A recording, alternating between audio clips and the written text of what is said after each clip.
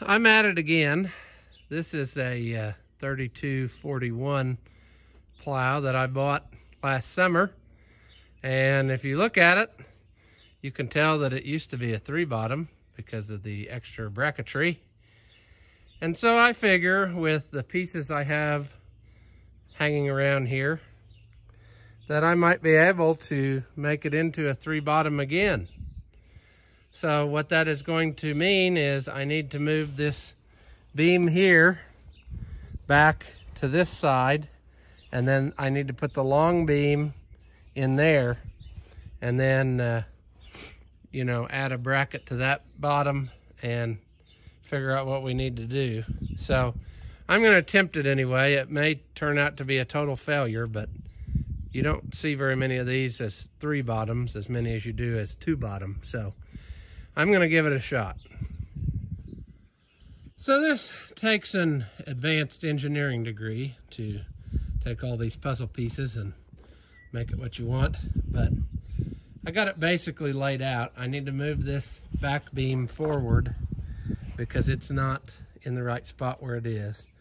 I got to bolt the other whoop-de-woo, whatever you call it, bracket from the beam to the middle of that bottom then I can get it positioned right and then put this up there and then figure out if I have to drill any holes because this is not the beam that would have been the add-on beam. So we have to see whether or not we need any extra holes that aren't there, but it is off to a start and I think that it is possible. So I'm willing to give it a shot. It's just gonna take a little bit uh, of patience here. So I'm going to get back to work here and see what I come up with. So here's what I got, and this will be how it is. I need to drill two holes in this beam here to put this plate on. That's where it's supposed to be, according to the pictures I've looked at of others. Uh, another thing I noticed after putting it on is I need to move this long land side back here to this uh, third bottom and then it won't interfere with the bottom behind it. Uh, I got to put this brace in here and that'll go into one of those holes that I drill. And then the only other thing I have to do is make a piece of metal to go from here up to this bolt here. So I'll probably put that back like it's supposed to be. But otherwise, I should have a complete 3241 three bottom uh, three point plow. I think the only difference between this and one that was original that somebody would be able to tell is I think that this backbone beam here is a little bit taller and a little bit thicker than the uh, original. You can see that looking at this one. But to the naked eye, it looks pretty well like it's supposed to. And it's all Oliver plow parts. It's just maybe not the exact right ones. The uh, beams here that go into the bottoms are the same diameter and width and height and everything, thickness as the uh, other ones on the plow and on the 4340. Because if you haven't guessed, that's where all these parts came from, was that 4340 plow that I parted out so I need to get some more bolts. I need to do those holes and then make that brace. And then I think that this is the way it should be. And I will have accomplished another project that I didn't know how soon I would get to. So that is good. So here's the beam off of the 3241 plow that I need to drill these two holes in. And I don't know why I thought any different, but this is a very, very hard piece of steel. So I've got a whole pile of dead soldiers down here that gave their life to at least get me some pilot holes, which those bits probably didn't start off sharp anyway. I go to auctions and buy piles of drill bits for jobs like this where I know it's going to, you know, probably destroy them. So I went to the local hardware store and armed with about $65 worth of drill bits, I think maybe we can drill the rest of this.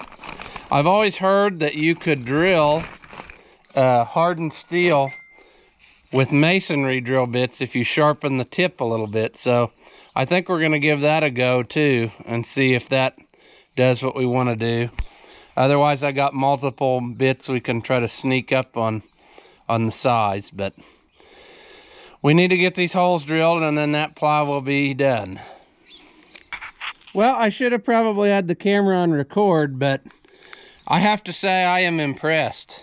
One carbide 5 8 masonry bit has just punched a 5 8 hole through this, what is it, inch thick, inch and a half thick bar.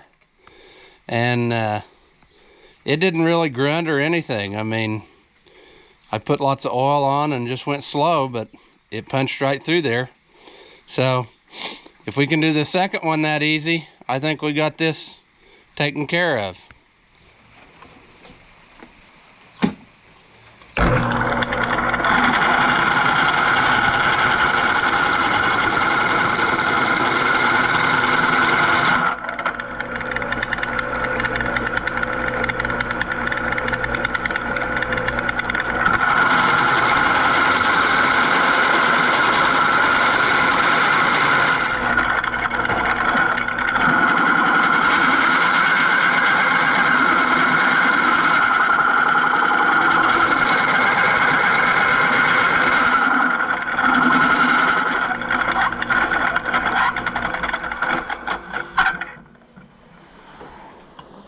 Well, I'm impressed.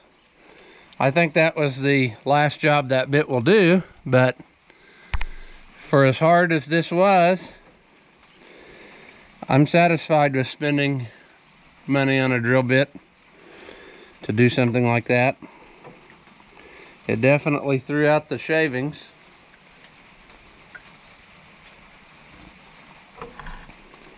Hmm, interesting.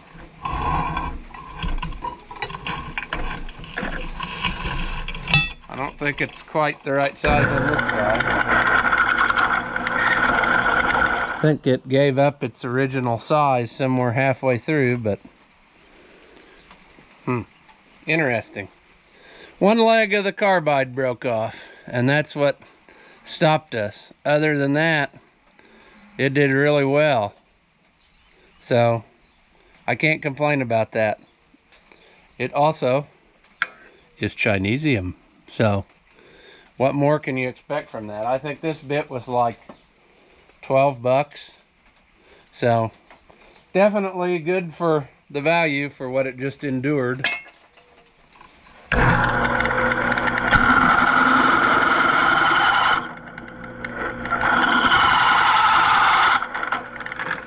Ouch. Well, that's junk. A 5 8 hole almost a 5 8 hole. This one's a 5 8 hole. So, after the carbide broke off of the masonry bit, it didn't make the hole quite 5 8 And the twist drill bit wasn't up to this task. I mean, this is a hard piece of steel. And it's obvious that uh, the masonry bit thing is a good idea. I wish they would have had two because then I could finish this hole off. It's so close, but it's got just a ridge in there that needs busted out and I cannot do it with the twist bit. I've got some old ones. Maybe I can get one of them to finish it. I might as well ruin multiple bits, you know.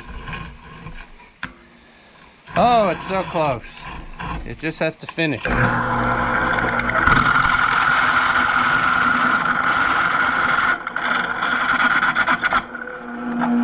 Ah. What the heck was that? Huh. That was interesting. Something puffed the magic dragon there. Don't know what it was.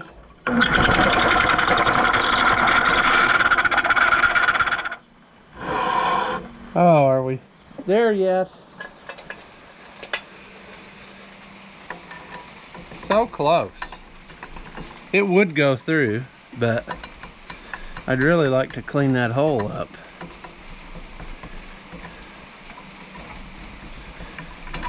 Man, that's crazy. Oh, that drill bit broke too.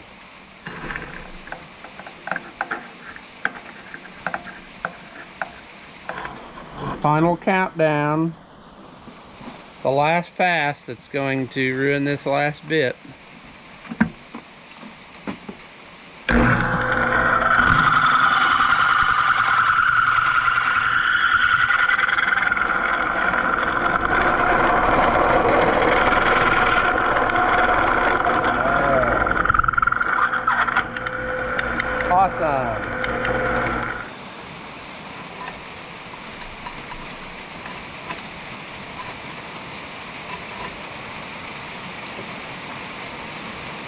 That's gonna pour down rain. So where two have failed, one carbide wonder does the trick. I wish I had had another one of these and I could have probably eliminated some of this. But uh, once the piece of carbide broke off of this, that was the end of that. But these others, just around, there was a ridge left in that hole. And just around that, or cut that ridge out, they were not up to the task. I mean, it did not take long at all for something bad to happen. I had a third old one and uh, finished off rounding out the holes. So this one's off just a little bit, but I think we can make it play ball. We'll just have to have to see. But I do not recommend drilling holes in a plow beam as it is quite difficult. But hopefully this task is completed. So here's what I got. This is the final result. A three bottom 3241 plow. And I don't know if I pointed it out uh, earlier on, but the the biggest way that I've noticed to tell the 3241 from the 3240 is this piece that your front coulter goes on. On a 3241 is bolted to the front, and on the other ones it's part of this beam and comes out at an angle. But I might be wrong. There might be some other obvious thing I've overlooked. But anyway, so it's back to a three bottom like it was at one point in its life. And what's interesting is it looked like they never readjusted the hitch when they switched it to a two bottom. So I don't know how it really plowed because, uh, you know, you need to adjust your hitch for the center of draft and that changes when you drop a bottom. So I put it back. The only thing I had to make was this piece here. In the literature, it had a brace rod from here to here. And that was kind of a guessing game, but I think I got it pretty close. In the picture, it had two holes in it, so I followed suit and uh, did that. So really the only thing left is to find some coulters for it. And uh, I want to give everything a final tightening. Uh, oh, we also need to move that land side from that bottom to this back one because that long one won't work there. So I guess I'll put it over here for now. I may just end up getting three new ones. Uh, the literature shows them with short ones on all three, but whatever. We'll put it on and uh, that way we can at least try it out probably. I need to get some cover boards and I think I got enough of the brackets uh, from that other parts plow so I should be able to put some on here. I'll just have to get some or make some. I need to put a new shin on that one because it's got an obvious problem. The points are kind of all equally worn, even the one off the parts plow. So I don't know. It may or may not work as is, but we'll definitely try it out.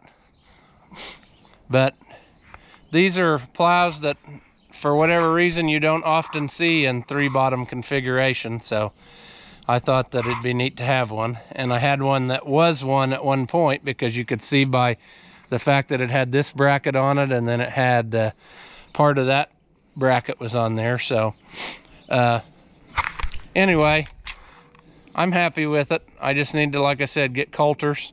I may have enough pieces to make some.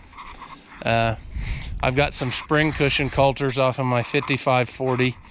I talked about maybe once before. And uh, anyway, I can probably use those on here, but they need a lot of work. So we'll tighten up the rest of the bolts and then we'll probably call this a done project for now. Set it to the side. Well, as always, if you enjoy the videos, give them a thumbs up. That really helps me out. If you haven't already, subscribe so that you don't miss anything. Thank you for watching, and I'll see you in the next one.